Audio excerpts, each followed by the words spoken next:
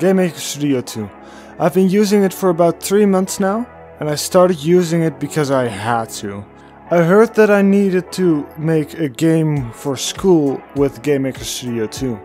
At first, I disliked this.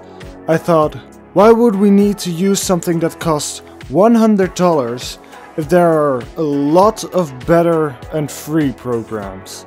This is what I thought before using GameMaker Studio ever.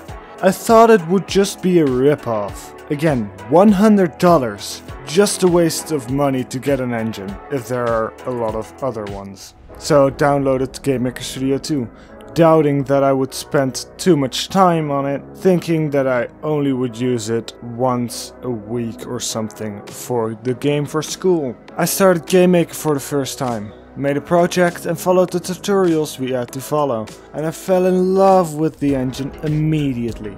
It turned into my main engine. I came from a mainly 3D engine, in Unreal Engine 4. I had been trying to make 2D games in Unreal Engine 4 for a really long time, and it was really annoying. And I tried Unity once, and it was just, I hated it. Sorry to the Unity users. But Game Maker resonated with me immediately when I started using it. I understood everything really quickly because of the tutorials. No, you didn't come here to hear about why I use GameMaker Studio 2, but I think it was important to say.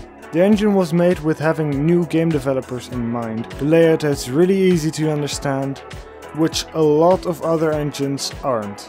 For example, Unity. I had no idea how the user interface worked there. The programming was also made in this way.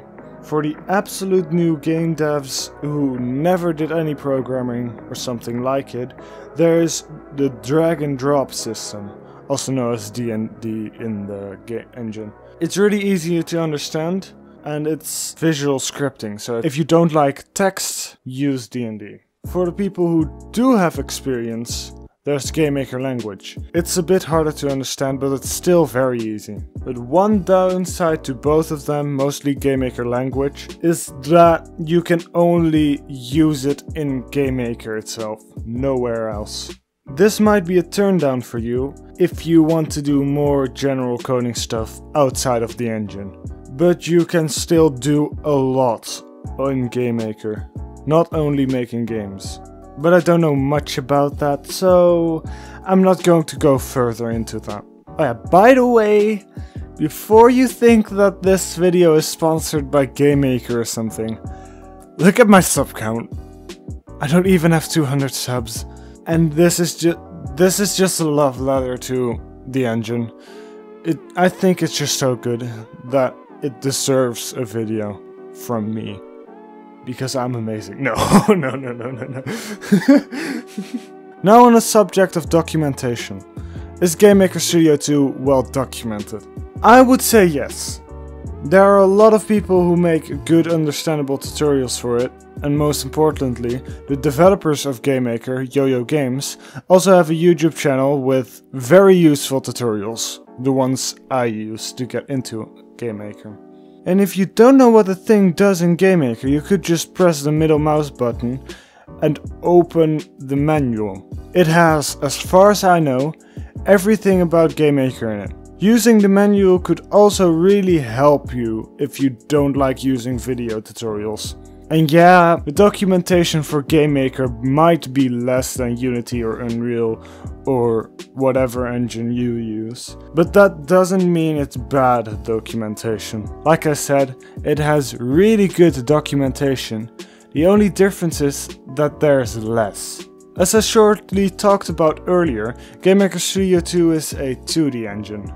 It might even be the best 2D engine, but I can't be sure about that because I haven't used a lot of other engines. Only Unreal mostly and Unity once. So now I'm gonna try to tell you some downsides to the engine. So you know your limitations when you get into the engine so you won't get disappointed. So a problem that I've noticed the most is the sound.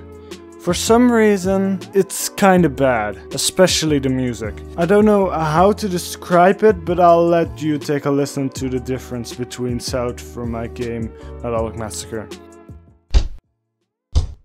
Yes, like I said, this does sound worse, but I'm pretty sure there's a way to fix it. Haven't found one myself yet, but I'm still looking. Lighting in games are nice, wouldn't you agree? Well, GameMaker Studio 2 doesn't have a built-in lighting system. Luckily, there's a free asset on the GameMaker Studio 2 asset store, and it's really good.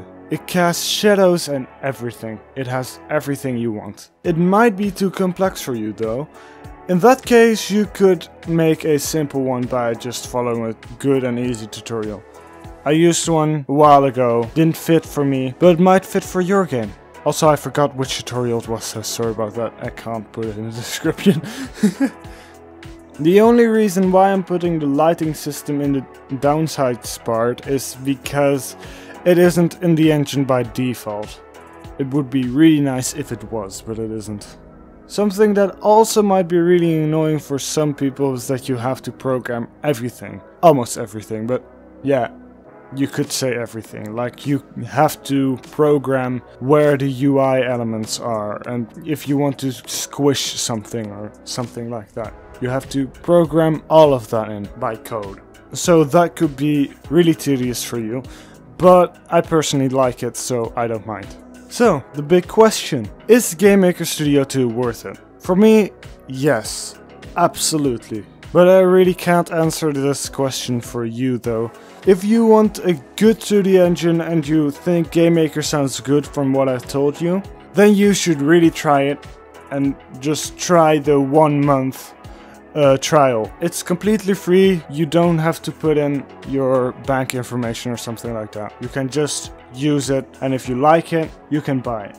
If you do use the trial, there are very good tutorials. I will put them in the description down below from Yo-Yo Games, which I also used to get into the engine. The tutorial's a bit outdated those, but that doesn't matter, it still works. So, yeah, don't buy the engine because I said it was worth it. Buy it because you've tried it and you really liked it. And when you buy it, make sure you buy the license that fits your needs. Don't just buy the cheapest one. Well anyway, that was all.